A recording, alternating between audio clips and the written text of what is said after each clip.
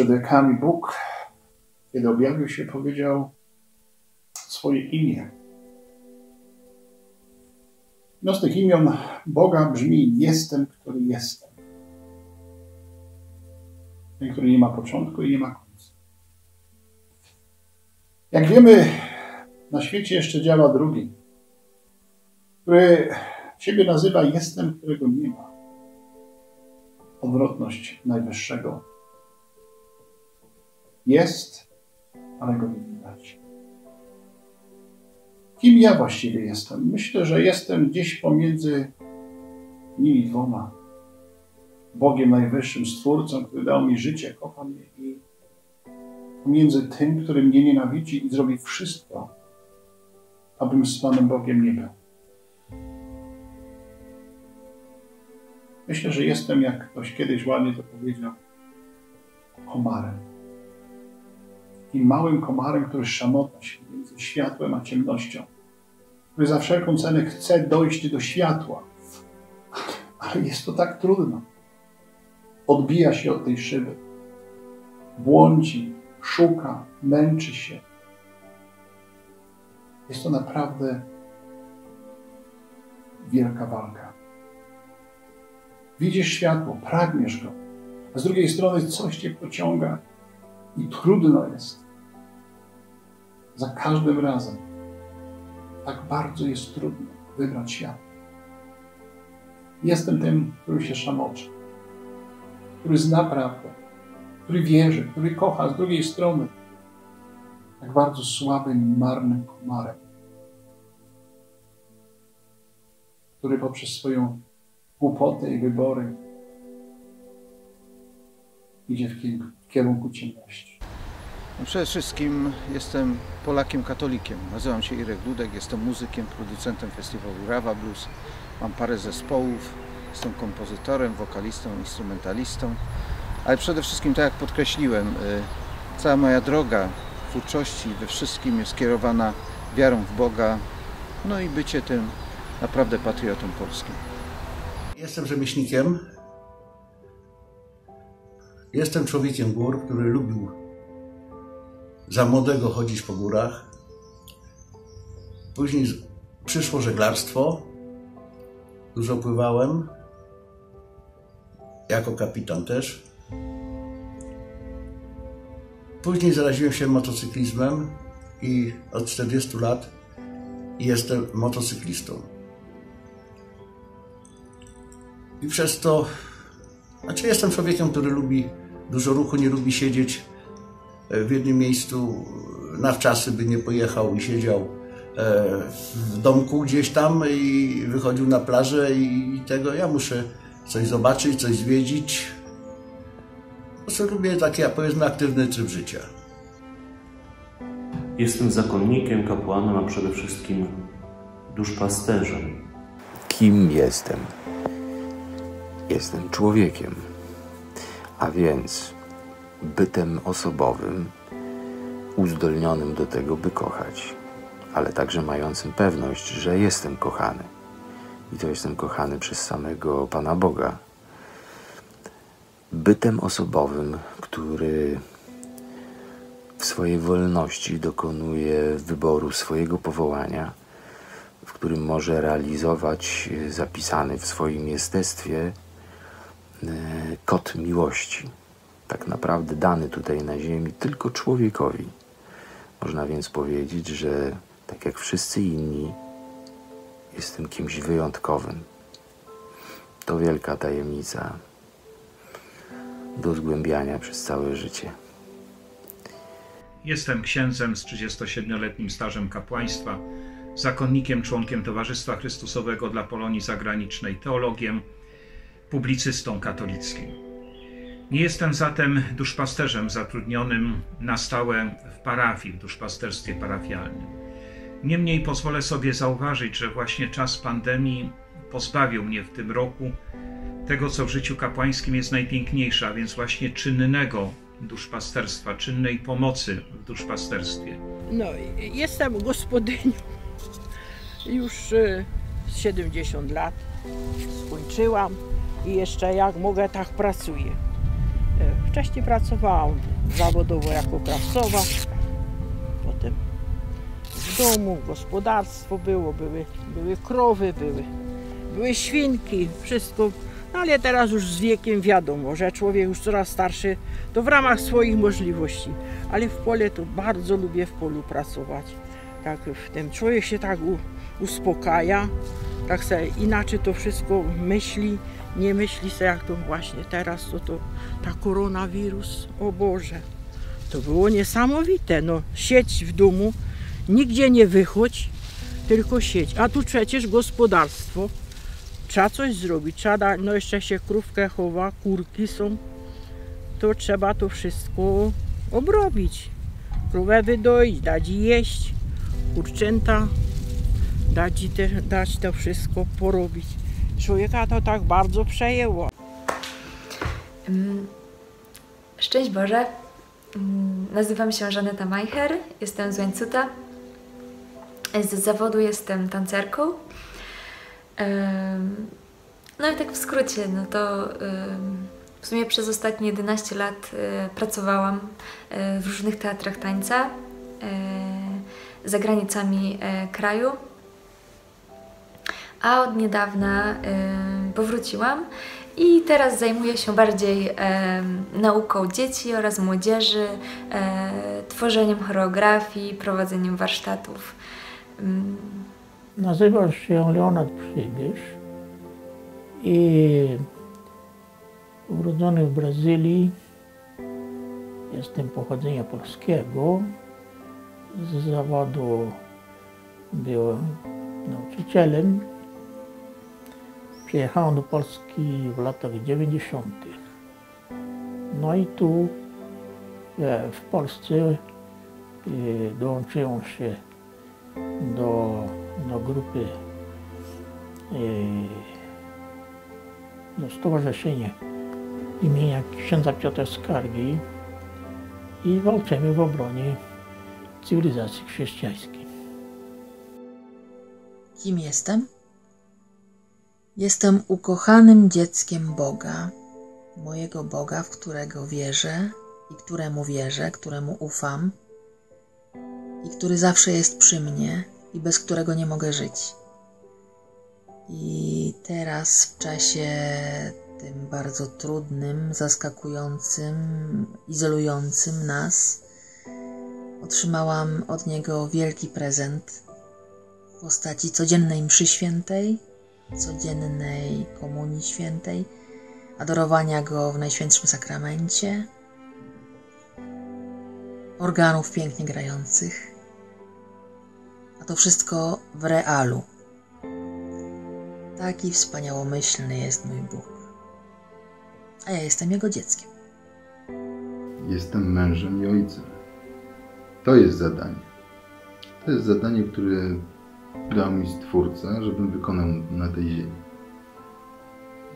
No oczywiście jest związane z dużą radością, z wielką radością.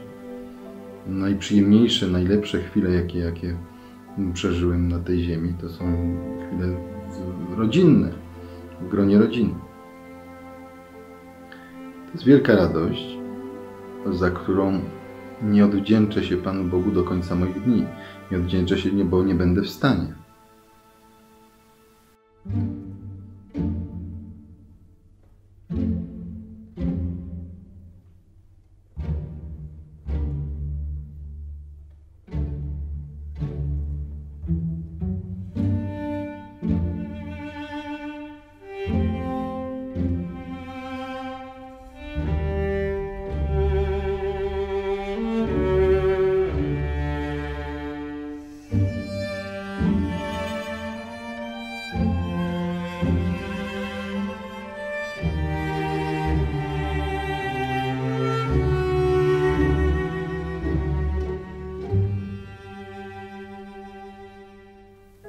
Dzisiejszy człowiek, jak mówią, tak jak syn marnotrawny, musi przyznać, że błądził i, i że trzeba tu teraz i też taką dozę, dużą dozę pokory, aby prosić o wybaczenie. Tak jak każdy człowiek, obawiam się, śmierci, bo ta perspektywa dla wszystkich nas jest niepokojąca. Choć chcę jednocześnie powiedzieć, że staję tutaj w obliczu dwóch odczuć, dwóch mm, tematów. Z jednej strony za świętym Janem Pawłem II, który jako stary, 80-letni człowiek powiedział bardzo lapidarnie, ale bardzo pięknie: Umiem cieszyć się życiem. Chcę wyrazić moją radość z życia, moje przywiązanie do życia, moje pragnienie cieszenia się życiem. Z drugiej strony przyznam się, że perspektywa śmierci, tak jak ją oglądam, z daleka mam nadzieję, ale jednak zastanawiam się nad nią i zastanawiam się od wielu lat, bo tematyka śmierci była i jest przedmiotem wielu moich rozważań teologicznych, wielu moich zamyśleń. Ta tematyka śmierci sprowadza się ostatecznie do tego, co wyrażamy w prefacji liturgicznej, o, mówiąc o życiu, które zmienia się, ale się nie kończy. I myślę, że ten czas pandemii stał się dla każdego z nas, także dla mnie, jakąś okazją do tego, aby wyrazić swoją wiarę w życie wieczne. Obawiam się e, o swój styl bycia. Czy w związku z sytuacją w tej chwili, która panuje w tym momencie, e, będę mógł e, dalej żyć jak lubię w wolnych chwilach, czy będzie na to środki, będą na to środki finansowe. I to jest. O zdrowie się raczej nie obawiam, bo ojciec Pio mówi, że by się modlić i nie przejmować się całą resztą, bo wszystko będzie dobrze. Obawiam się właśnie też tego, żebym dokonał głupiego wyboru. Mimo, że człowiek wie, mimo, że człowiek jest świadomy, w którym kierunku iść, mimo, że mamy wiarę, nadzieję, światło, widzimy tą ścieżkę, która prowadzi do zbawienia, to dlaczego ciągle wybieramy ciemność? Dlaczego ciągle błądzimy? I tego się obawiam. Czasami boję się samego siebie, boję się tych moich wyborów. Dlatego proszę Boga, jak w modlitwie Ojcze Nasz, chleba naszego powszedniego daj nam dzisiaj. Modlę się o dzisiaj. To jest bardzo ważne. Modlę się tylko o dzisiaj.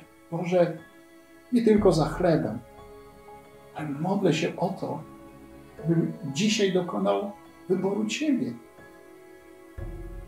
żebym po ludzku nie popełnił żadnych. Żeby ten, który nazywa się jestem, którego nie ma, nie przeciągnął mnie na swoją stronę. I modlę się do, Boga o tą łaskę. Widzenia poza, poza horyzont, widzenia w tej ciemności tego świata. Jedyne, czego się obawiam, to chyba siebie samej, bo wiem, jaka bywam jaka jestem.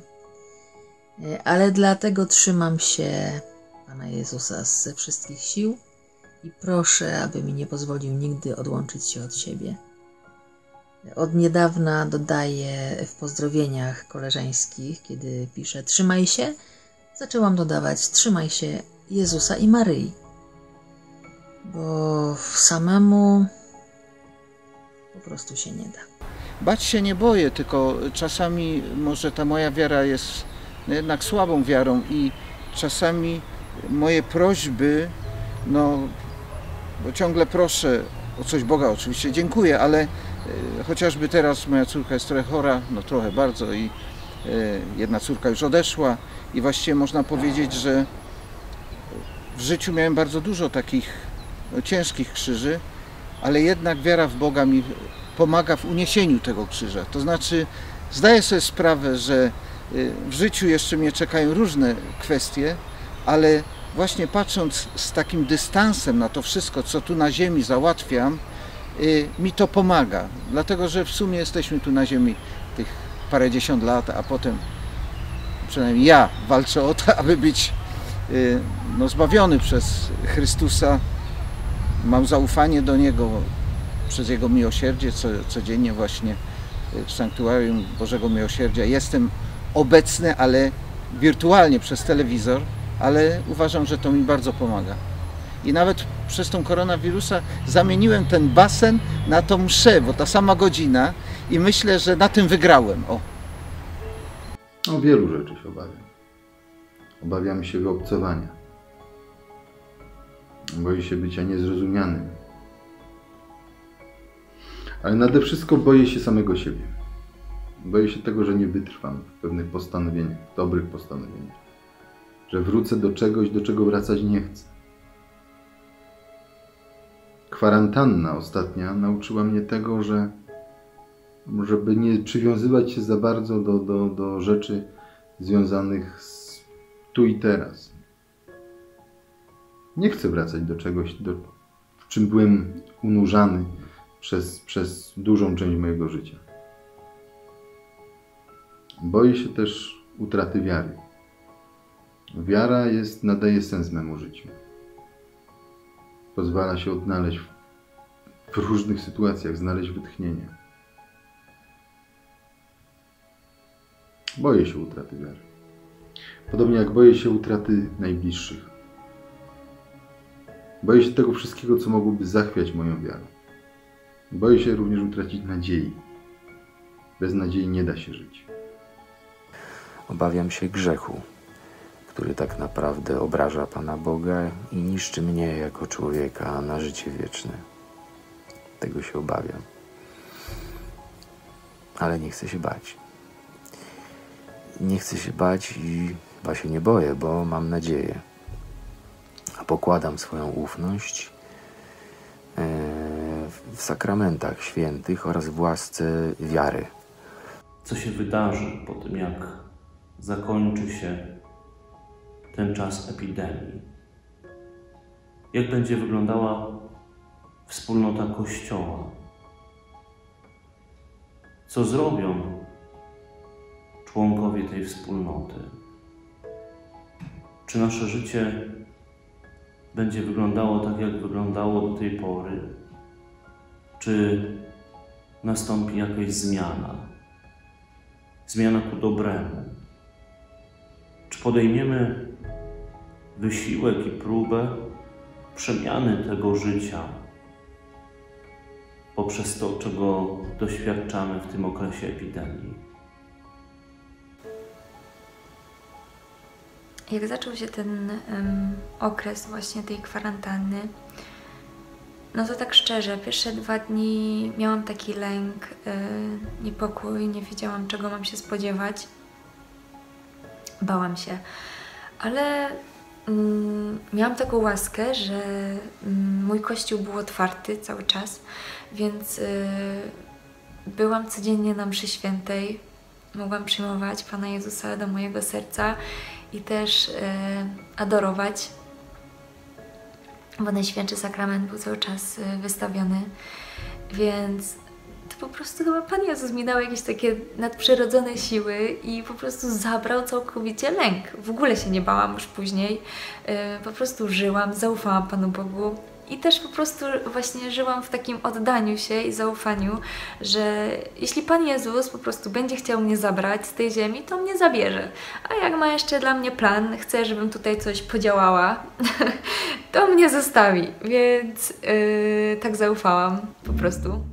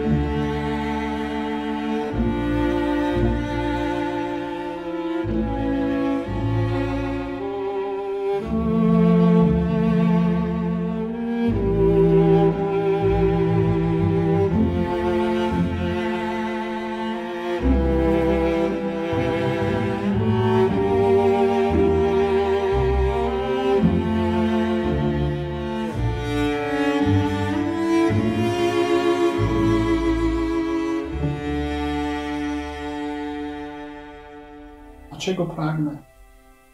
Pragnę dotrzeć do celu. Nie wiem, może już przychodzi to też z wiekiem, że człowiek już się wypala, człowiek już jest coraz to bardziej zmęczony. Nie fizycznie, ale duchowo. Czytam świętego Pawła, jak on bardzo pragnął żyć po drugiej stronie. Dla mnie wielkim zyskiem jest z Jezusem. Coraz bardziej go rozumiem, bo przecież normalnie człowiek na świecie nie powie, chce, chce odejść, bo przecież tu jest tak pięknie. Ja nie wiem, czy tak jest pięknie. To nie znaczy, że pragnę śmierci, ale coraz bardziej tęsknię już za tamtą stroną, zobaczyć już prawdę, zobaczyć jak jest.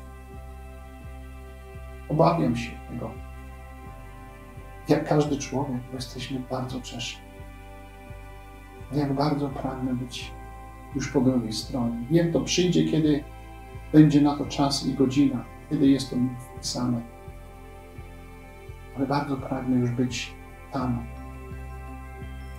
I pragnę być i odejść z tego świata jako, jako wierny. Wierny do końca. Tak Jezus powiedział, kto wytrwa w wierności, to będzie zbawiony.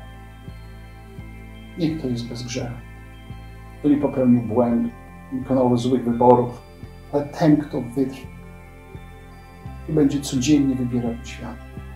I o to Boga naprawdę proszę, aby być z Nim. Tym, który jest i który był, który będzie na wieki. I o to się codziennie mówi.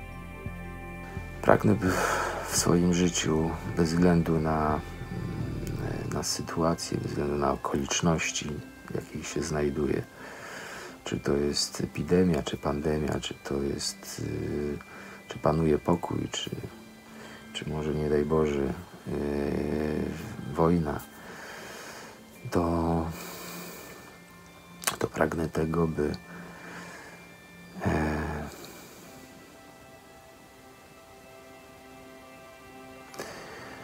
by być po prostu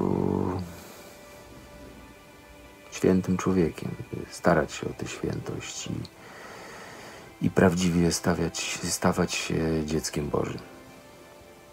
Hmm? Chyba tego pragnę. No czego pragnę? No dalej, żeby to tak minęło, żeby się spotykać z ludźmi. No do kościoła się już wchodzi, tak, bo teraz już, już jest udostępnione. To tak człowiek już ten duchowo i w ogóle tak jest zadowolony. Spotka się z ludźmi, porozmawia, co tam słychać. No to nie jest to, że jak to dawniej szli ludzie grupami i rozmawiali. Każdy siędzie w samochód i przejedzie i minuta osiem już jest w domu. No ale mimo wszystko spotka się uśmiech jeden do drugiego jakiś taki może co na latach tu. Ja kiedyś miałem pragnienie, tak, najpierw stać się muzykiem dobrym, potem znanym, potem mieć rodzinę, dzieci, żonę, wszystko. Takie miałem pragnienia, ale y, w tych pragnieniach wszystkich niektóre rzeczy nie były takie, jak sobie wyobrażałem. Doszedłem do wniosku, jest to powiedzenie, tak, człowiek myśli, Pan Bóg kryśli i po prostu, no, musiałem powtórzę się, już i miałem żonę, i byłem znany, i miałem żonę, i miałem dzieci, i nagle córka umiera. I zaczyna się no, wielka tragedia, bo, bo jak rodzice odchodzą, to jest naturalna kolej losu, ale jak córka, no i tutaj znowu podkreślę, wiara w Boga mi w tym pomogła. Jakie pragnienie miałem? No zrobić ten festiwal, y, jak 40 lat temu robiłem z małego festiwalu ogólnopolskiego, zrobić międzynarodowy. No okazuje się, że pojechałem do Memphis, dostałem nagrodę Keeping the Blues Alive za utrzymywanie bluesa. To jest taka y, nagroda, największa nagroda światowa i właściwie mi się to wszystko spełniło. I, ale w dalszym ciągu, jak patrzę na to, jakie miałem potrzeby w życiu, to potem jak one już się zrealizowały, zauważyłem, że to jest takie, no takie w sumie, no że nie, że nic, ale nie aż tak wielkiego, że tyle czasu poświęcałem, tyle myśli, że trzeba to osiągnąć. Jak człowiek już to osiągnie, lepsza jest ta droga dochodzenia do tego punktu, niż już stanięcie w tym punkcie, bo potem nagle, no, no nic się w sumie takiego wielkiego nie stało, prawda? Cały czas się starzeje, no i tu zawsze w takich sytuacjach jest z jednej strony podziękowanie Bogu, ale z drugiej strony prośba, żebym no jednak za tego życia się uświęcał po prostu. To jest chyba największe dążenie moje teraz. Abyśmy potrafili jeszcze bardziej docenić wartość Eucharystii. Tego, że możemy karmić się ciałem Jezusa Chrystusa, pokarmem na drogę do życia wiecznego. Pragnę tego, żeby, żeby ludzie mieli więcej odwagi, żeby, żeby otworzyli się na drugiego człowieka i żeby nawiązywali takie prawdziwe, prawdziwe relacje, nie, nie przez internet, nie w cyberświecie, tylko właśnie tak y, na żywo. No bo przecież to jest, y, to jest najpiękniejsze, więc y, i to jest też coś, czego ja osobiście pragnę. Rozmowy z drugim człowiekiem, wsparcia też czasami, po prostu, po prostu relacji.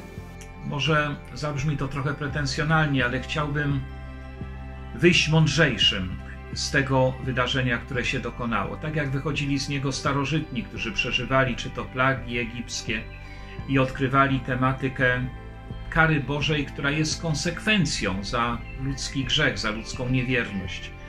Tak jak wychodził świat antyczny, mądrzejszy po tej zarazie, czy to y, zarazie Cypriana, czy zarazie Justyniana, kiedy odkrywano fundamentalnie ważne rzeczy, takie jak chociażby prawdę o dobroci Boga, czy prawdę o tym, że życie nasze może i powinno być medytacją śmierci, Ars Moriendi.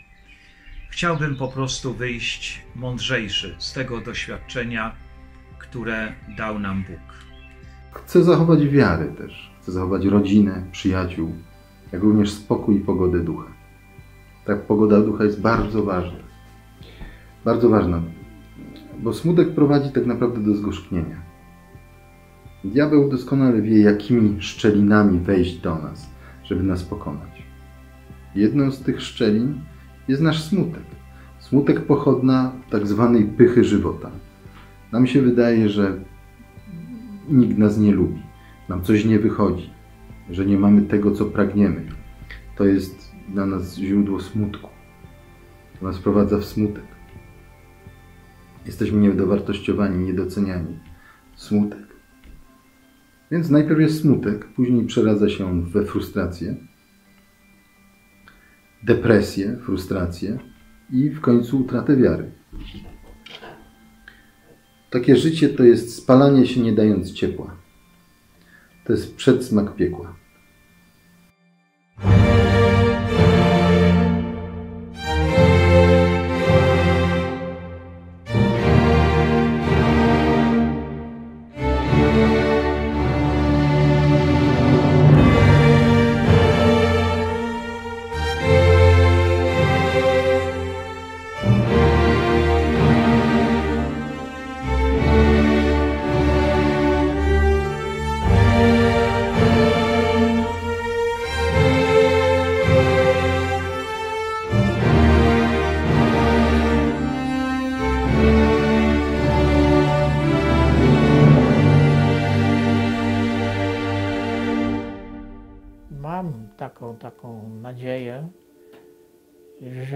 To się stanie, yy, kiedy, nikt nie wie. W każdym razie yy, Matka Boska w Fatimie obiecała, yy, że ona zatriumfuje. I jeśli tak, to, to jest możliwe.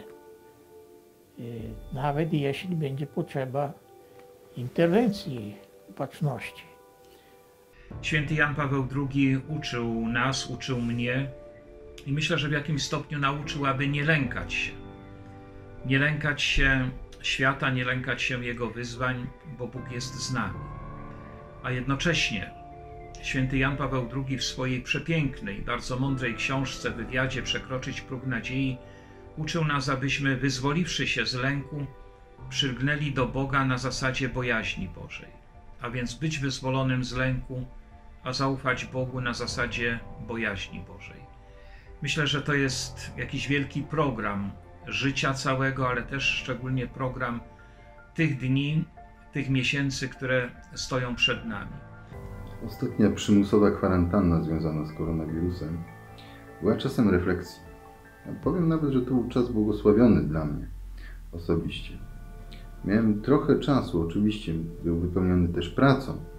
Mm, Życie rodzinne, zawodowe, szkolne, prywatne stało się jednością, ale to był również czas, mm, czas refleksji, przemyślenia tego, co w życiu jest istotne, co jest najistotniejsze, a co jest niepotrzebne.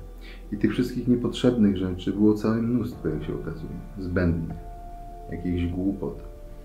Mm, Tego, co, co, co przesłania nam tak naprawdę istotę życia. Osobę Boga nam przesłania.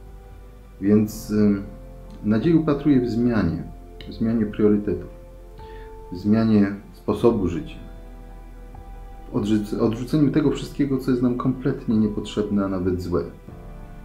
A jest wielka nadzieja. Gdy świat jest teraz w mroku, kiedy Kościół też ogarniał mrok, kiedy żyjemy w tym strasznym chaosie, dezinformacji, kiedy ludzie tracą nadzieję, ci nawet, którzy ją mieli. Musimy patrzeć się do przodu, musimy patrzeć się w kierunku światła. Ja muszę patrzeć się w kierunku światła codziennie, każdego rana prosząc Boga, Panie, daj, abym widział światło, a nie ciemność. Panie, daj, abym każał tą drogą, którą Ty chcesz, a- nie ktoś inny, czy ja sam. To nie jest łatwe. Dlatego może w moim życiu wybrałem Maryję tak bardzo. Bo ona jest człowiekiem. Była jedną z nas tu na ziemi. Ona tą walkę przeszła jako człowiek. Jak ona obiecała będzie nas prowadzić jak matka. Nie ma większej nadziei, że ktoś będzie mnie prowadził jak matka. Przecież matka nie chce zguby swojego dziecka. Będzie nas prowadzić do światła, do swojego syna. I tam widzę nadzieję dzisiaj. Wszystko zależy od ludzi. Wszystko zależy.